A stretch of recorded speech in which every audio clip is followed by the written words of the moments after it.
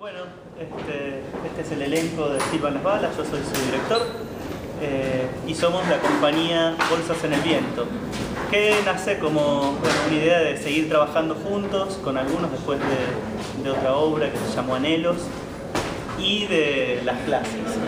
Este, a partir de eso nace la idea de hacer una compañía. Y nuestra idea fundamental era trabajar temáticas universales. Eh, entonces nos pusimos a investigar y ahondamos un poquito en los griegos, en la Ilíada, en este, Shakespeare también y apareció el mundo de la guerra. Y así es como nos fuimos metiendo en, en Silvan las balas. Y poco a poco en los ensayos, viendo películas de guerra, a los golpes, este, todo lo que había en la guerra lo hicimos en, en, en los ensayos Así que fueron ensayos muy duros, muy placenteros y del cual salió el material que fuimos trabajando poco a poco.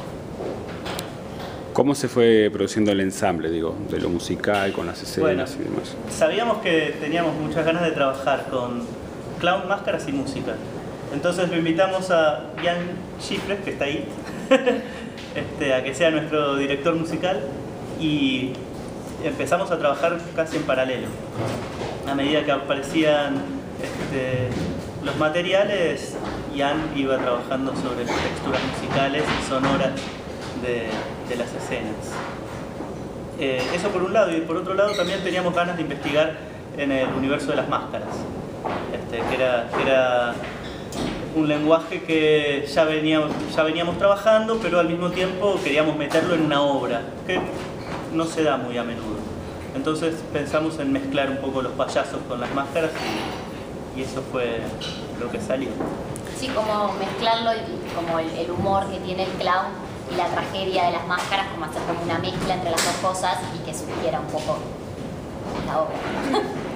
Sí, me parece también que cada uno como que fue llevando ideas de lo que nos interesaba de la guerra, por ejemplo, eso como un presidente cuenta a su pueblo, bueno, hay que entrar en guerra, o el personaje del cartero como que es fundamental en un, momento de guerra, las despedidas, ¿no? las, mujeres que se quedaban esperando en los tiempos de guerra, como cada sobre todo de la vivencia y de la sensación que nos provocaba algo y queríamos contar eso, bueno, lo vamos llevando y después lo fuimos ensamblando. ¿Cómo se fueron armando las escenas? ¿Había texto previo, no? Eh, partimos de, algunos textos previos, este, pero como inspiradores. No sé, desde el Antígona de Brecht hasta este, todas las de Shakespeare, las, guerras que aparecen en Shakespeare. Este, pero, pero sobre todo tomándolo un poco desde, bueno, ¿qué es lo que nos pega de esto a nosotros? Entonces, che, hagamos una escena donde eh, se ponga en juego la diplomacia y entonces pensamos, bueno, ¿cómo harían los payasos para, para hacer su diplomacia, para tratar de generar este, por vía diplomática la, paz? Bueno, y a partir de eso empezamos, este, traíamos algunos textitos, algunas ideas, veíamos películas, de a poco. Fue un proceso largo, de un año, un año y medio. y ahí fuimos haciendo las escenas y ganando. Por ahí decíamos, necesitamos una escena que pase tal cosa y la construíamos y la trabajábamos. Y por último, yo desde la dirección doy como eh, el último, la última mirada dramatúrgica, ¿no? como la unión de esas escenas y el avance de, la historia. Todo muy charlado, ¿no? consideramos que es una construcción colectiva, totalmente colectiva. la sala, el Pairó, digamos, ¿cómo, ¿en qué momento surge? Porque digamos, como se utiliza bastante el espacio este en particular. Surge al final, aunque no parezca.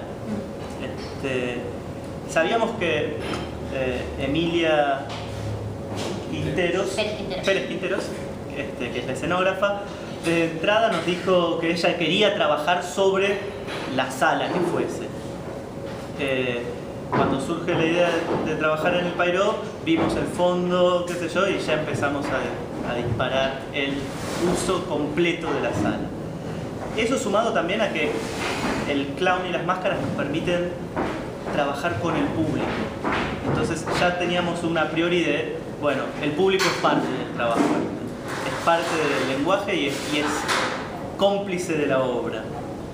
Son, son soldados y son aliados,